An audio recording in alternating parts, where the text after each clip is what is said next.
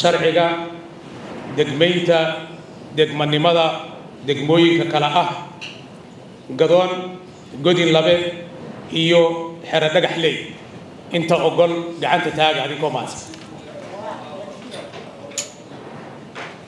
Golaha wakiilada dowlad goboleedka galmudug oo maanta yeeshay kulankoodii labaad kalfadhiga tobnaad ee baarlamaanka ayaa ansixiyey degmooyinka gadoon godin labo iyo xero dhagaxley oo ka mid noqonaya degmooyinka dowlad goboleedka galmudug. Ajandaha kulanka golaha ayaa ahaa ansixinta degmooyinka gadoon godin laba iyo xero dhagaxley. Dhaarinta xubno ka tirsan golaha wasiirada cusub ee dhowaan uu soo magacaabay madaxweynaha galmudug iyo taageeridda dadaalada guddiga nabadda ay wadaan kuwaas oo madaxweynaha galmudug uu u magacaabay xal u colaadda ka taagan deegaano u dhexeeya caabudaaq iyo xeraale kulanka golaha wakiilada uu shirgudoomiyey guddoomiyaha golaha wakiilada baarlamaanka galmudug doctor maxamed nuur gacal oo ay weheliyaan ku-xigeenka koowaad iyo sidoo kale ku-xigeenka labaad ee golaha ayay cod gacantaaga ku ansixiyeen golahu degmooyinka gadoon godin laba iyo xariir dhagaxley sida uu ku dhawaaqay guddoomiyaha baarlamaanka galmudug doctor maxamed nuur gacal. Maantoy taariikhdu tahay labaiyo tobanka bisha juun laba kun afar iyo labaatan kulanka guud ee golaha wakiilada dowlad goboleedka galmudug kalfadhigiisa tobanaad fadhigiisa labaad kooramkiisa oo ku guntamay sagaal iyo afartan mudane. Kadib markii ay ka doodeen akhriyeen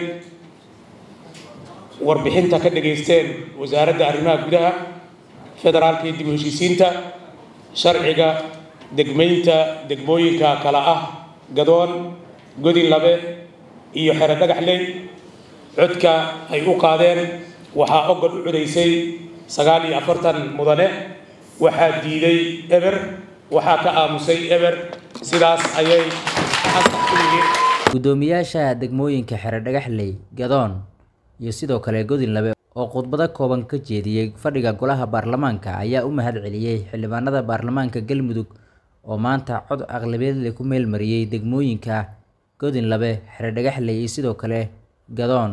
Waddo dheer oo waqti dheer soo haynay ayaa maanta noo rumowday aniga magacaygu waa cabdinaasir cismaan maxamed. Naymkiisa loo yaqaano qooje. Kaas ah guddoomiyaha degmada gadoon. Allah subxaana wa tacaala ayaa mahad iska leh waxaan si aad iyo aada ugu mahad celinaynaa oon u bogaadinaynaa baarlamaanka dowlad goboleedka galmudug oo si caqlibiyad leh u ansixiyey oon kala har lahayn keenitaankii degmooyinka la keenay ee gadoon iyo godin labe iyo xero dhagaxley. Waxaan u malaynaa saddexdaas degmo waxay soo buuxiyeen sida la sheegayba sharuudihii ay lahaayeen ayay soo buuxiyeen. Wax faahfaahin ahoo annagu dheeroo hadda aan ka sii gelaynahay ma jirto.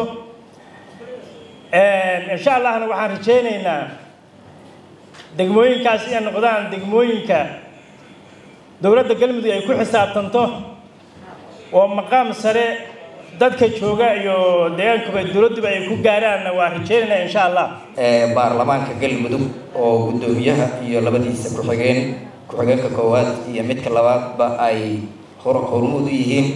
Aad iyo aad ayaan ugu mahad celinaynaa anoo ku hadlaya kana wakiil ah shacabka reer godin labe waxaan leeyahay salaani korkiina haato aad iyo aadaan idinkugu mahad celinaynaa annaga waa fognahay. Degmooyinka kalena waa dhow yihiin. Waxaa la dhari ninkii u dhawaada lafaha kala baxa degmooyinkan waxay nooga dhigiyeen gobolkii iyo caasimadii. Maalin la arkaa la tagaa. Laakiin annaga waa fognahay. Hobyaan waxaan ku jirnaa lixdan kilomitir waxaan u malaynayaa hadda intaan wax yar baa ka tegey wax badani ma tegin. Waxaan codsanaynaa degmada xerdhagaxley in la tago oo aan ku soo dhaweyno waa dhulkii beeraha ee khayraadka ay ka soo bixi jireen. Waxaan rabaa nin kasta oo dowladda galmudug ka tirsan haddii uu yahay golaha baarlamaanka haddii uu yahay wasiirada haddii uu yahay xildhibaanada nin kasta inaan ka siiyo dhul oona ku soo dhaweeyo aada iyo aadaan umahadsantiin ugu dambeyn wasiir dowlaha wasaaradda arrimaha gudaha federaalka iyo dib u heshiisiinta dowlad goboleedka galmudug oo fadhiga golaha wakiilada galmudug ka hadlay ayaa waxa uu sheegay golaha wakiilada dowlad goboleedka galmudug ay ansixiyeen labaiyo toban degmo oo ku soo biiraya degmooyinka dowlad goboleedka galmudug. Waxauna sheegay in hadda qorshuhu uu yahay in gobollo cusub wasaaradda arrimaha guduhu ay golaha u soo gudbiso. Iftaax yuusuf eereed warbaahinta shabeelle